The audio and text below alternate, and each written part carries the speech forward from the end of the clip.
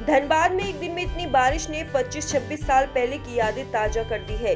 गुरुवार की रात से शुक्रवार तक 226 मिलीमीटर बारिश हुई, जो ना तो मई और ना ही जून के पूरे महीने में हुई थी। इससे पहले ऐसी बारिश साल उन्नीस में दिखाई दी थी।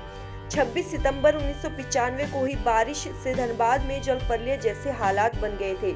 उसी दिन बारिश की वजह से गजली टांड खान हादसा हुआ था। उस दिन की और भी भयावह थी, जिसका रिकॉर्ड 330 मिलीमीटर था। ठीक वैसे ही बारिश 29 जून की रात से 30 जून के बीच दिखाई दी है। इस बार भी बारिश ने खूब तबाही मचाई। शहर में जहाँ दर्जनों पेड़ गिर गए तो वहीं कई झोपड़ियाँ, पक्के मकान और यहाँ तक कि मंदिर इस पानी की धारा में बहकर धाराशाही हो गए। छोटे नालों ने भयानक रूप ले लिया और कई जगहों पर कहर बनकर टूटी। मोहल्ले और सड़कें तालाब बन गए कई रिहायशी इलाकों के घरों में पानी घुस गया। गुरुवार रात से शुरू हुई बारिश शुक्रवार को पूरे दिन के बाद रात में भी थम थम कर बरसती रही। शनिवार को भी सुबह से मौसम का मिजाज बिगड़ा रहेगा। दोपहर बाद इसमें बदलाव आने की संभावना है।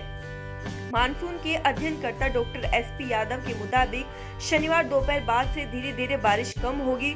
मौसम में पूरी तरह बदलाव नहीं होगा। थम थम कर 2 अगस्त तक बारिश जारी रहने की संभावना बनी हुई है।